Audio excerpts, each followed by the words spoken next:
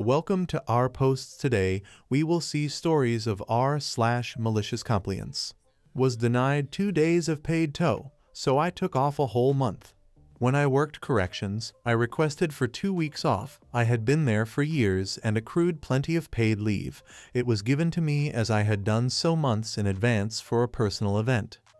The two weeks went by way too quick. I had specifically lined up my two-week break to lead into my two days off at the beginning of the break and at the end so I could maximize my time off. However, during my normal off days a family emergency came up that was quite serious, so I asked for another two days off to handle my situation. I was told by my direct supervisor that there was no way she was approving that because we are only allowed to use 84 hours of leave in one continuous block given our rotating written schedules and 12-hour shifts, this equaled two weeks, and she ordered me to come in the next day or I would receive a write-up. I didn't argue because I knew she was correct. So I showed up that night and reported for my shift and much to my surprise, my captain had called out sick so a relief captain came in to fill her shift. I asked him to give me the next day off after my shift was over. He and I had a rapport given the number of years we've worked with each other previously, and so he looked at the schedule and my leave. He said, You know you've got plenty of leave, right? Yes, I know. I just need some of it to handle my business tomorrow.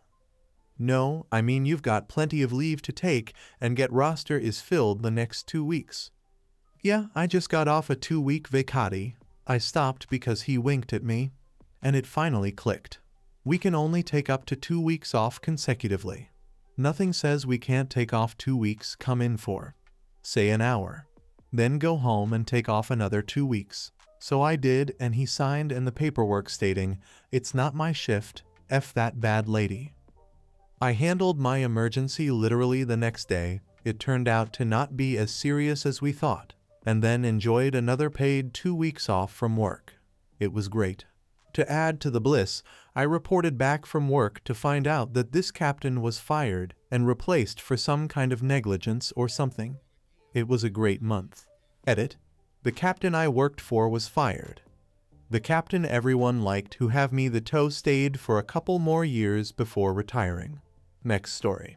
Dig until you tell me to stop. Sure thing, Pops obligatory posting on mobile so formatting blah blah blah. So now the story. This happened back when the Earth was young and MTV still played music videos in the ancient age known as 1997. I was 13 and spending yet another weekend helping my dad with yard work and home improvement projects. Not complaining, I learned a lot about home repair, and rather than get a crappy teen job in retail, my dad paid me to assist him up until I left for college. Now, just because I didn't hate it doesn't mean I was a little 13-year-old crap, however. On this day, we were putting up a trellis in the garden for plants to grow up. Simple job, sink two posts, cement them in place, and fit the trellis between them. My dad gave me a post hole digger. He showed me the spot for the first post and said dig it as deep as you can.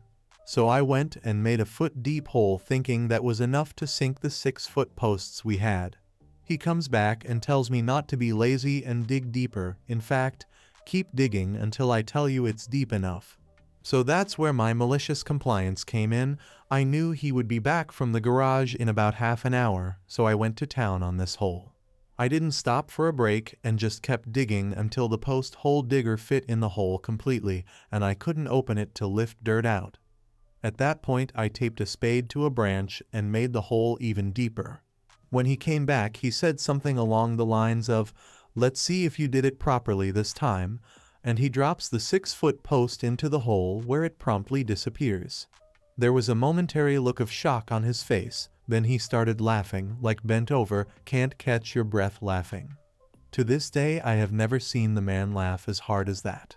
When he was done, he told me that I guess I did what he told me, but now I would have to figure out how to fish the post out of the hole.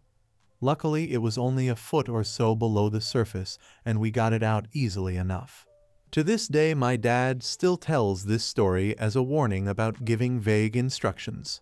Next story when my ex learned to not ask me to do anything for him anymore. A bit of a backstory. I divorced my ex a little over 9 years ago after 14 years of marriage.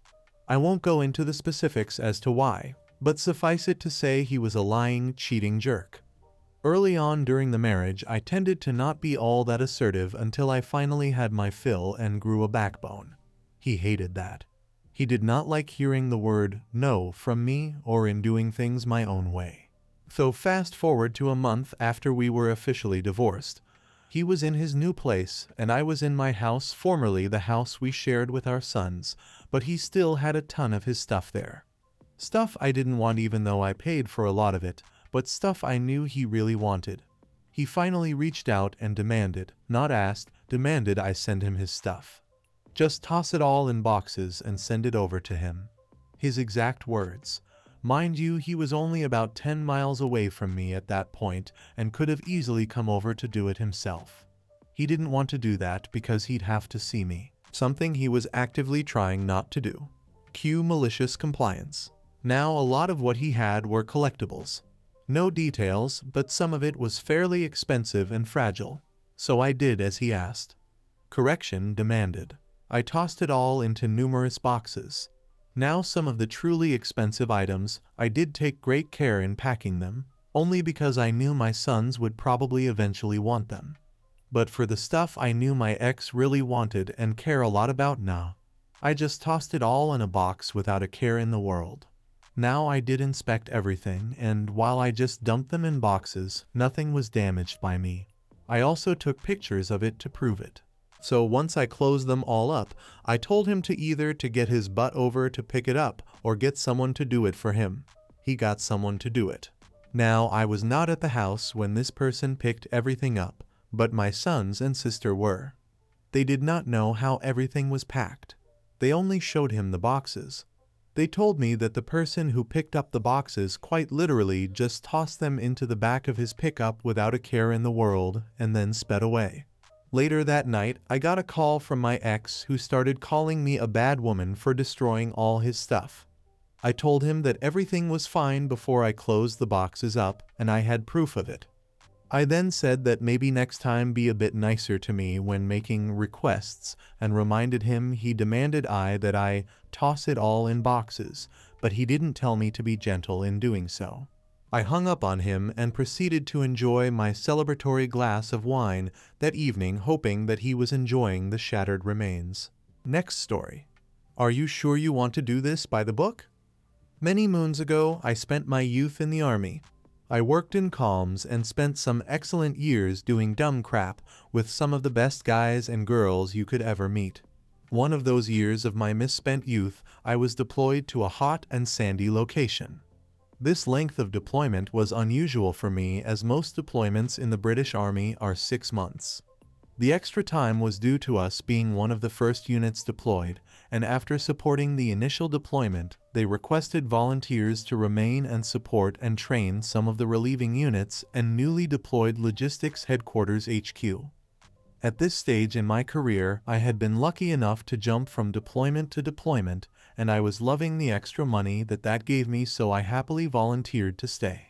I was tasked with supporting one of the logistics HQs, I'd run that detachment earlier in the deployment and was happy to return as it was far away from the main HQ and all the bored adults and seniors that the HQ brings. Think sweeping the desert, that kind of thing. Our little detachment was a oasis in a sea of crap. It was just six guys and girls with me as the detachment commander. I was a Corporal CPL full screw at the time. The isolated nature of our det meant that anyone sent there had to be able to operate independently, be very adaptable and open to improvise to support where required. Our main unit also liked to send us their troublemakers, but due to the nature of the det, they could only send us people who could do their role also. So I ended up with all the best and most interesting scum of my unit, and it was amazing. For any Yanks reading, it would have been a E4 Mafia paradise. Within weeks, we had a patio and rock garden set up. We had a BBQ pit, shower area, gym. We'd sorted a deal with the local civilian contractors for us to receive beer in exchange for our help in vehicle and generator servicing. The best part was due to us being a comms det. It was restricted entry to our area, so we were free from any surprise visits. Now that I've set out the backstory, I'll get on to the malicious compliance. The HQ we were supporting was regularly rotating its senior non-commissioned officers SNCO and officers from the deployment. They'd do the minimum time to qualify for a medal and they they'd get replaced with someone new. It was a crappy practice that eventually got shut down, but not till much later deployments. We were fairly used to this by now and the only overhead we had has creating new accounts for the seniors. The guys who actually did the work, my peer group in the HQ, stayed the same mostly. This latest rotation saw the old regimental quartermaster sergeant RQMS being replaced by a newly promoted RQMS. This new guy was a prick. Full of his own self-importance, hated that we had a little island of crap-free tranquility within his eyesight.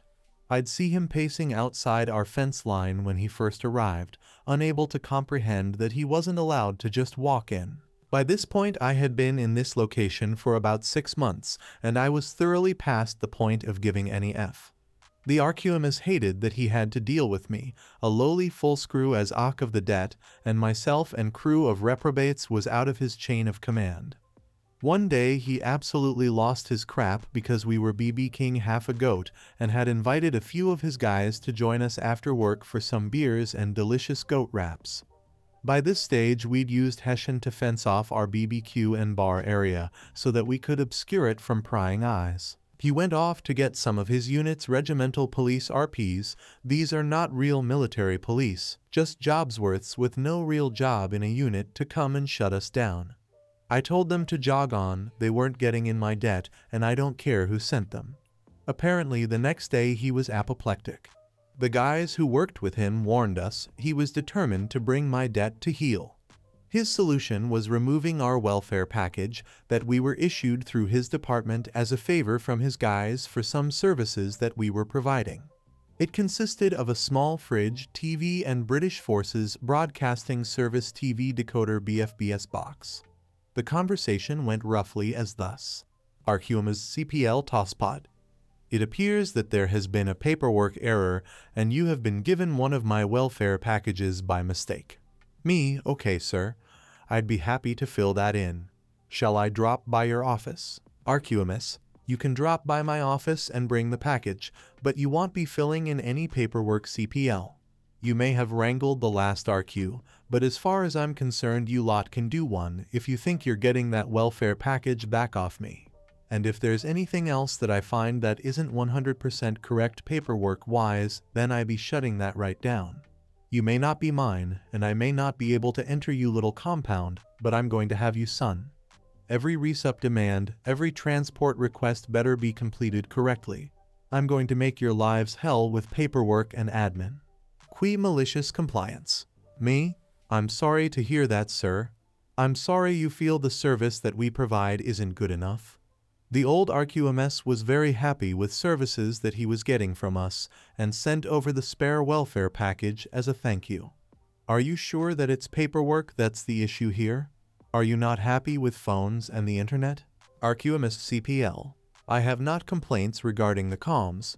You just need to complete the correct paperwork and have it authorized by me. At this point, it is clear that he is never going to authorize the return of the welfare package and is very smug about it. Me, okay sir, you're of course correct. Paperwork is essential. RQMS, are you giving me attitude CPL? Me, not at all sir. Just agreeing with you. To be clear, you are happy with everything else we provide to the HQ?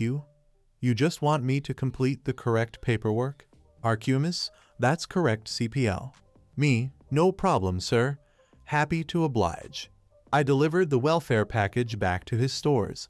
His guys were very apologetic. I told them not to worry. You see, the welfare package was a thank you for all the extra phone lines and terminals that we'd provided for the previous RQMSs. These expanded his and his unit's working capacity.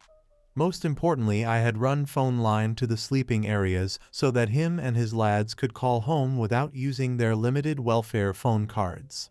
I'd also laid some precious unfiltered internet lines too. Internet to deployed units is very rare, and unfiltered internet is almost unheard of for British units.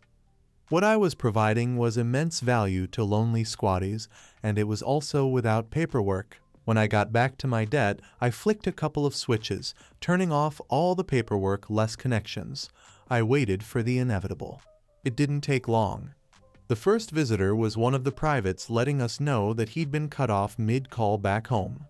I apologized and explained what was going on with the RQMS. He understood, not happy about it, but understood. He went off muttering about throbbers who can't leave well enough alone. The next was one of the RQMS's full screws, who I have a lot of time for. She came round and asked what was going on with the comms.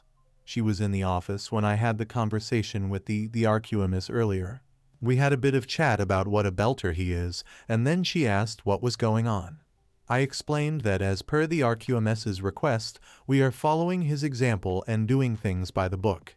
And I've turned off all services without the correct paperwork. She looked at me knowingly. So what does that mean? she asked. I explained that the only services that I had been ordered to provide were for the HQ. The rest would have to request them through me and be approved by Division HQ as per orders. I handed her a copy of the request forms to be completed in triplicate as I didn't have a photocopier and they couldn't send me it by email as I just turned their kid off. She had a bit of a chuckle and went off back to her boss, paperwork in hand.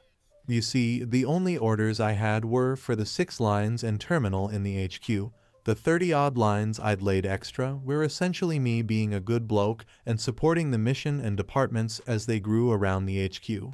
It was initiative and adaptability on my part. These were all now off, and I had a steady stream of visitors throughout the day wanting to know what was going on.